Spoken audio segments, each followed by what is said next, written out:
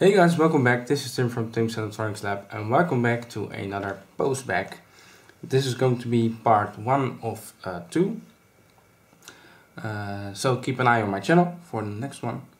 Uh, before we begin, I'd like to apologize myself for my voice.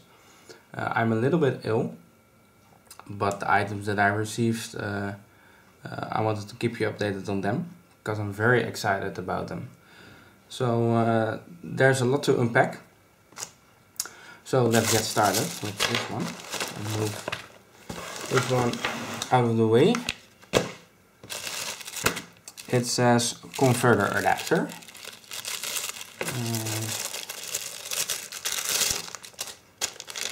That's exactly what it is. These are BNC plugs and I uh, already ordered them but I ordered them the wrong um, gender so I think this was female and these two were male um, and I wanted a splitter that you can attach things to, not attach things from. Uh, so that you can uh, um, probe a signal uh, that's going into something uh, with the signal generator and your scope. So nice little uh, BNC plugs, always handy to have. This small thing, integrated circuits, times 5 curious what's in here. Ah, these are the uh, transistors, MOSFETs. These are the IRF 3205. Uh, I ordered them quite some time ago and they took very long to, uh, to arrive. Um, but now I don't need them anymore because uh, this was for my windmill project uh, but you all know what happened to the last version of the PCB. Actually you don't know, because I uh, still have to upload that video. Reminds me that I've got something to do there. Uh, too long don't read. It blew up.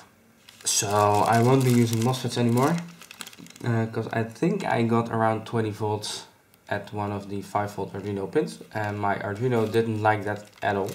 So yeah. Now this uh, just said uh, Donghua Haiwang uh, building. Nothing more.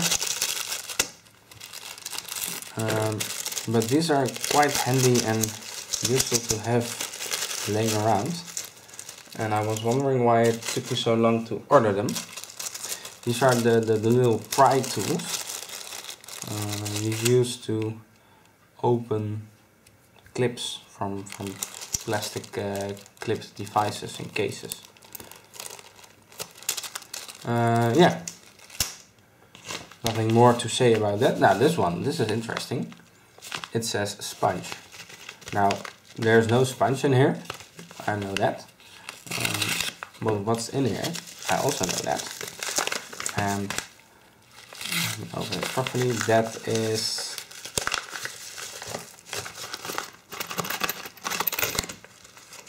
soldering tips. Now, what I'm curious, uh, what I'm curious about is if these tips are from the same quality as the tips I ordered from Banggood, um, meaning that they eat, uh, they were eaten away uh, with one solder job. Basically, power on, solder for, I think it was 15 minutes. And basically the whole tip was gone. Um, I think I do have it, the whole tip got eaten away. And this is the tip that came with the soldering iron. And this is what this is what this one is supposed to look like and as you can see it yeah look at the, the, the size difference it just got eaten away completely. Uh, and I'm hoping that that doesn't happen with these ones. I can see, yeah, the the this one, this big one, isn't in here. I think, or is it? No, this one, there's a smaller version of this one inside there. Uh, but I think it should do fine. So, I don't have anything to, to solder actually right now. Not that I'm aware of. But we'll uh, remember these two to properly test them. Because I'm very curious. Maybe uh, check if they even fit. As you can uh, test what you want, but if they don't, don't fit. Now what I um, do use from the previous solder tips is uh, this. The, the whole solder assembly thing. They also sent this and uh, including this. And when you look at the previous at the original tip holder uh, it popped right off sometimes. Uh, this plastic just unclipped and just yeah it went away. Uh, that was very annoying. Oh. There's a lot of space in between.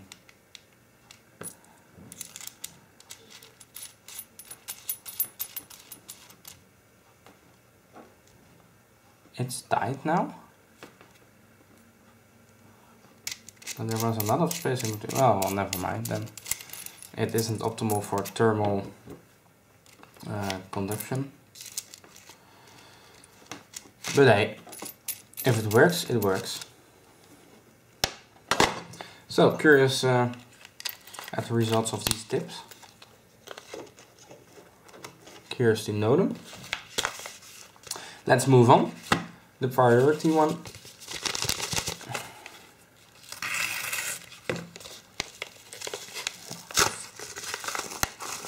Check what's inside here.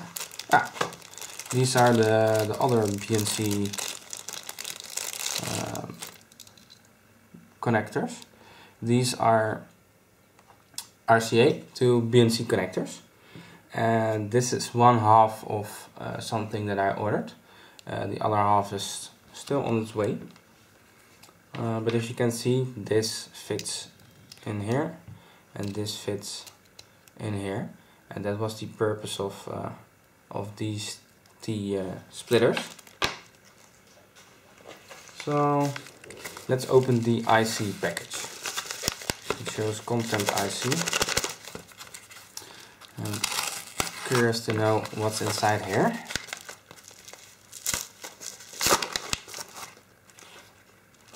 Oh, yeah, these indeed are ICs. Yes. Arduino Nanos. Two of them to compensate for the tragic loss of my uh, of my other Arduino. And they gave me something, I guess.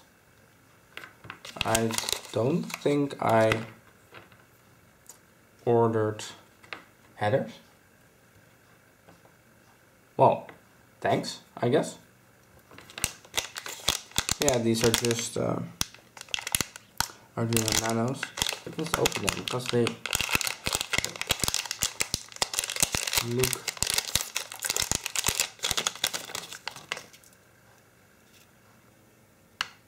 they look and feel more uh, quality.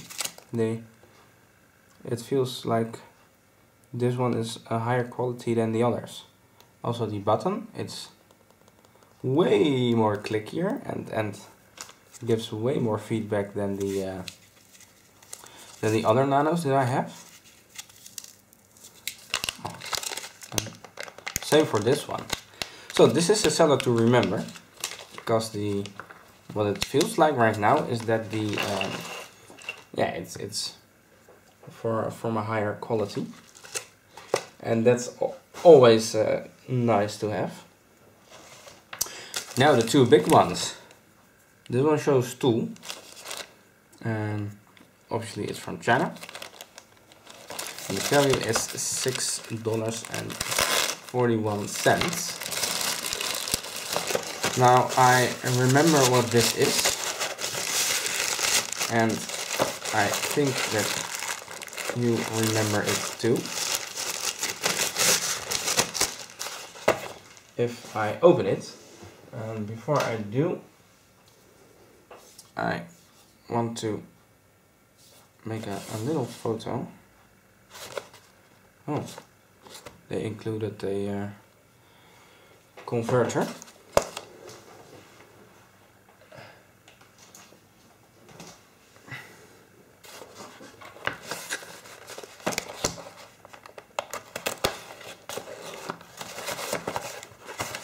Uh, that I obviously have to remove. This is uh, Chinesium at its best. Because the previous converter that I had was, was it had a, a massive uh, hole in there. But it works, I guess. So, ta-da! You all remember this one, right? Let's open this and check.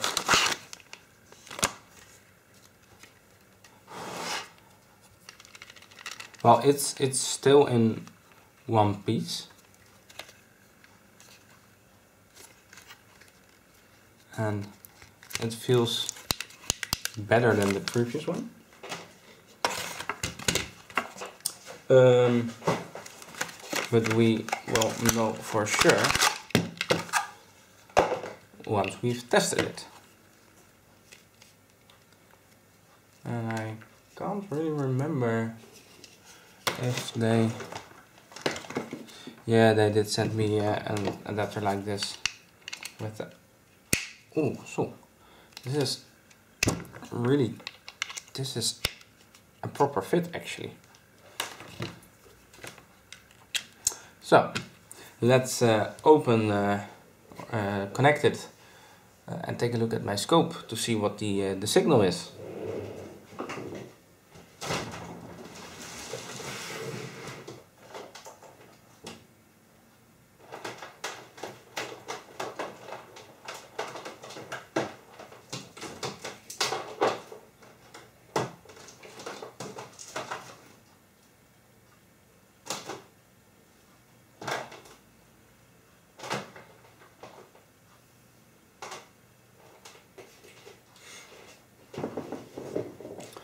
A quick uh, sidetrack. These were the previous uh, uh, these splitters that I ordered.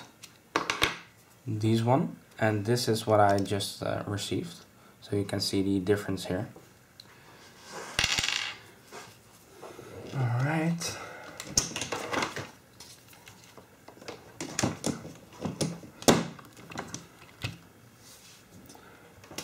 Power of my scope.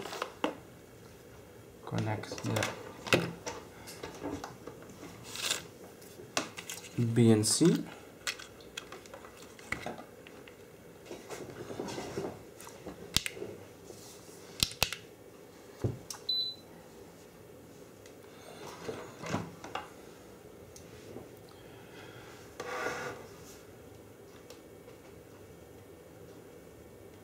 Now the previous uh, one was broken. Uh, the, the, the thing was literally broken the case was uh, all over the place and it didn't uh, work properly. Um, if you touch this then the whole signal would jump around and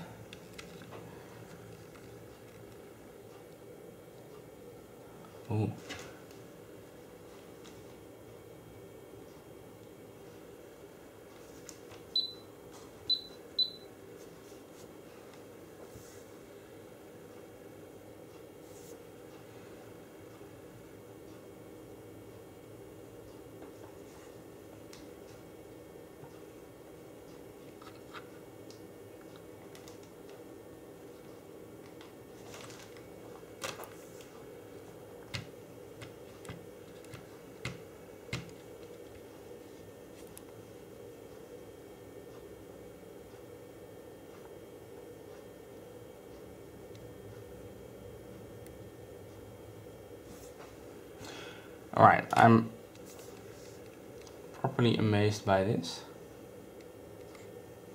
The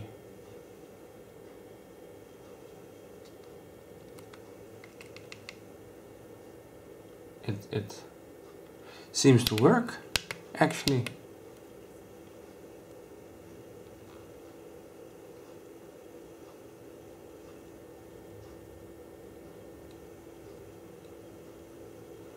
This is uh,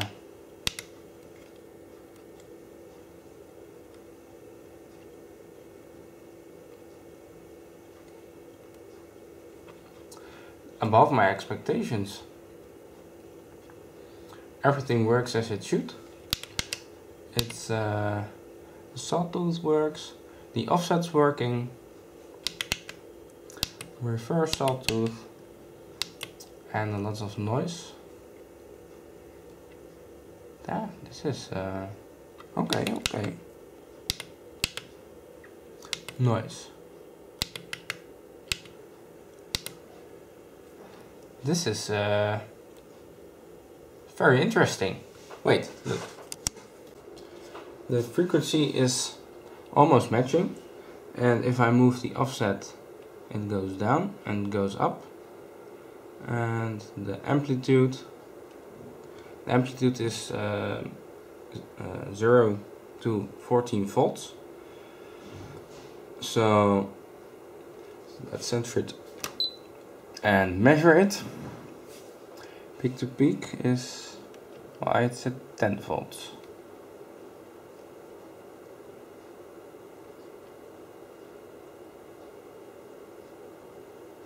Hmm. Not the 14 volts they gave us. But I'm not sure what you need 14 volts for. Um, but this is uh, this is quite good. I'm uh,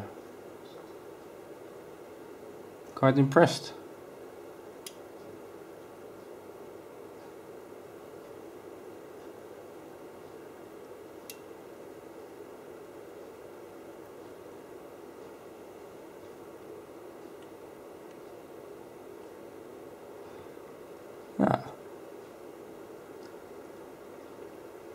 No, this looks fine. Oh. Yeah, the frequency is a little bit off, but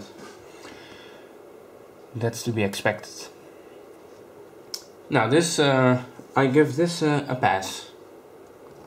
Now the only thing that I'm missing with this uh, thing is the option to generate a sine sweep so that you uh, select the starting and ending frequency and the duration of the sweep. And well yeah that it executes the sweep increasing the frequency and then decreasing the frequency. I think that uh, it shouldn't be that hard to implement. Maybe I'm going to take a look at the firmware check if it's open source because it's basically just an Arduino in here. Um, and I thought when I opened up the previous one that I saw an uh, header meaning that you're able to uh, to program it. So that's uh, something that I uh, need to take a look at because well, it's quite useful to have a, a sine sweep uh, especially if you're designing filters uh, high pass, low pass, band pass all that stuff so that's quite useful. So nice, uh, thanks Banggood, because they uh, sent me this one when I told them the other one was broken. Uh, and I really appreciate it. Because it's working. Oh, and you get this uh, with it too. Now the final package shows charger uh, with a value of five uh, dollars. Now that's not correct. Um, but it is a charger. And what kind of charger you might ask? Well I'm glad you did. And if I'm able to open up this package I can show you. It's surprisingly uh, surprising me how uh, little this thing is damaged. You know, if you saw the uh, the package that with the signal generator came in, it was uh, all over the place with the damage. Lito Kala intelligent battery charger. I ordered uh, this one, the Engineer LI 500 battery charger with an adapter because say you uh, you can't have uh, enough adapters it's a 12 volt 2 amperes adapter from 100 to 240 DC maximum of 24 watts and it's all about this charger. Get rid of this box. This is the charger. Now, what's so useful about this charger is that um, it supports uh, double A, triple A, and a various amount of 18 XXX cells, lithium cells, so 18650 uh, and, and a lot of others uh, are there listed here. 18650, 26 650, 14 500, double A and triple A. Um, yeah, the manual. Oh, I was about to say the manual is Chinese, but then I flipped it around. I think that uh, the batteries that fit in this charger that it's capable of charging them. So no 9 volt, but I think if you've got another battery uh, that's not listed in the uh, specification list and matches the voltage ranges, I think that this uh, thing is capable of charging it. Yeah, there you go. It's written on the bottom, a whole lot of batteries. Um, so yeah, I suggest we power it up and we uh, check what it does when we uh, put a battery in there. Now there's a, a 5 volt output, so I think that you are able to put a battery in here and then you're able to generate a 5 volt signal from it, but I'm not really sure.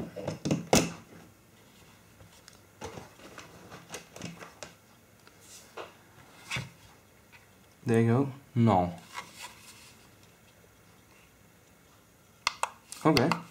No. That's uh, what I was expecting. No.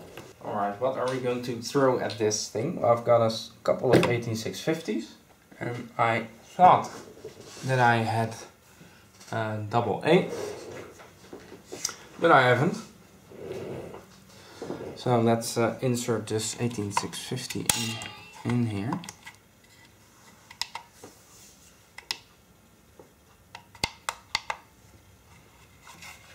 Let's repower it. No.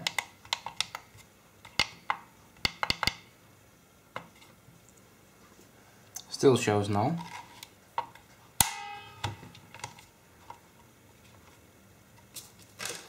Maybe we need to take a look at the manual. Alright, so it shows that if it's a bad battery, it will show no.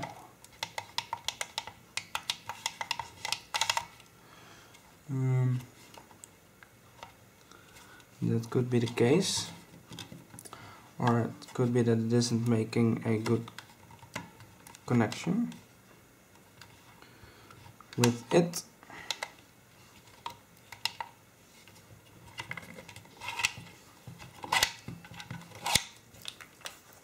Ah. Hey, that's the problem. I put them in reverse. There you go.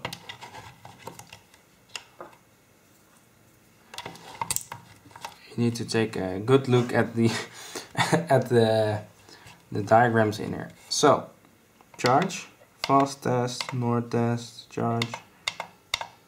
You can set the current.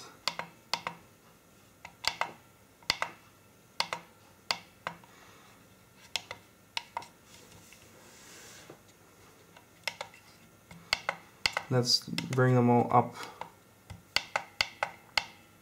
Wait. No, no, no.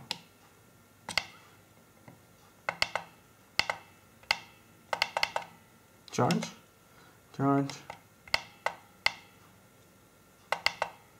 This one's almost uh, full. Wow. There's no fourth one in here, but let's let's Oh, it automatically switches to the, the battery that's inserted as well.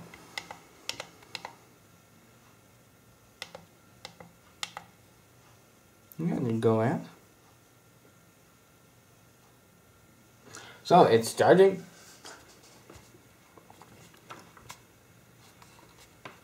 It's uh, a pretty big device.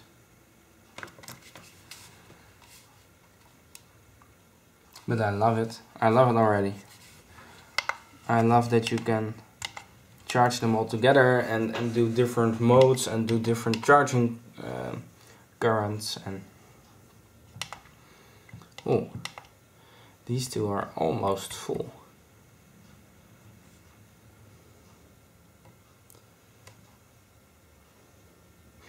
I want to, to fully charge these two and then drain them to see what capacity is left So I think that this will take uh, a while. So I'll be, uh, I'll be back uh, to you. Thanks for watching this video. I hope you've enjoyed it. If you did, please leave a like. Make sure to leave a comment down below. You can also share this video with your friends if you think they will like it too. See you next time.